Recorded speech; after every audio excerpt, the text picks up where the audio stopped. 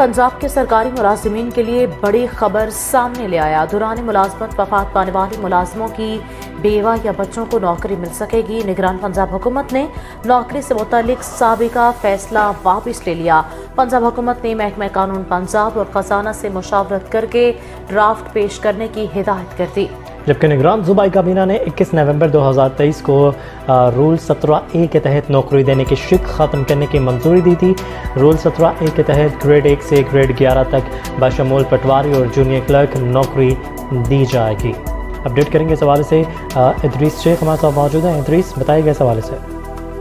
हाँ जी, बिल्कुल new news ये बड़ी खबर सामने ले आया सरकारी मुलाजमिन के हवाले से। इससे कबल भी नवंबर में जो है, रूल सत्रह खत्म करने से मुतलिक भी सबसे पहले जो है खबर न्यूज़ और लाहौर रंग की जानब से दी गई थी। और सिलसिले में अब दुरान मुलाजमत वफात पाने वाले सरकारी मुलाजिम की बेवा या बच्चों को नौकरी ना मिलने का जो है वो फैसला निगरान पंजाब हुकूमत की जानब से वापस ले लिया गया है। और पंजाब हुकूमत ने दौरान सर्विस वफात पाने वाले सरकारी मुलाजमिन की बेवा या बच्चों को नौकरी देने से मुतलिक अपना सबका फैसला वापस ले लिया है। पुराने सर्विस वफात पाने वाले सरकारी मुलाजिम की बेवा या बच्चों को नौकरी से मिल सकेगी इस सिलसिले में महकमा कानून पंजाब और महकमा खजाना से मुशावरत करके ड्राफ्ट तैयार करने की हिदायत कर दी गई है। निगरान पंजाब हुकूमत की जानब।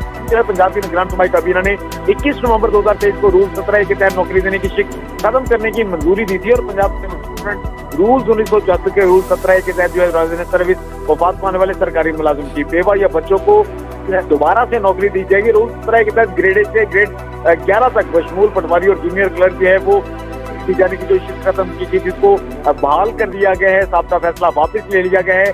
पंजाब को मस्जिद जाने से सेक्रेटरी में पंजाब ज़ाहिर शेरदिल की ब्रीफिंग पर पंजाब की निगरान सूबाई कमीशन ने रूल सत्रह के तहत भर्ती खत्म करने की मंजूरी दी थी। रूल सत्रह खत्म किया गया था और पंजाब सर्वेंट जो appointment and condition of service rule उन्नीस सौ चौहत्तर के कायदा सत्रह ए के तहत मुनकता किया गया था, जिसे वापस ले लिया गया है और इसके तहत दौरान मुलाजमत वफात पा जाने वाले जिसमानी या दीनी तौर पर माजूर होने वाले को नौकरी देने की जो शिक इससे मुतलिक जो फैसला किया गया था, उसको वापस ले लिया गया है। इस सिलसिले में पंजाब हुकूमत ने अब रूल सत्रह के तहत दौरान मुलाजमत वफात पाने वाले सरकारी मुलाजिम की बेवा या बच्चों को नौकरी देने का जो फैसला किया था, उसको जो मुनकता किया था, इस सहूलत को अवामी वफात की, पंजाब के तमाम सरकारी मुलाजमिन के लिए अब इस फैसले को वापस ले लिया गया है। दौरान सर्विस वफात पाने वाली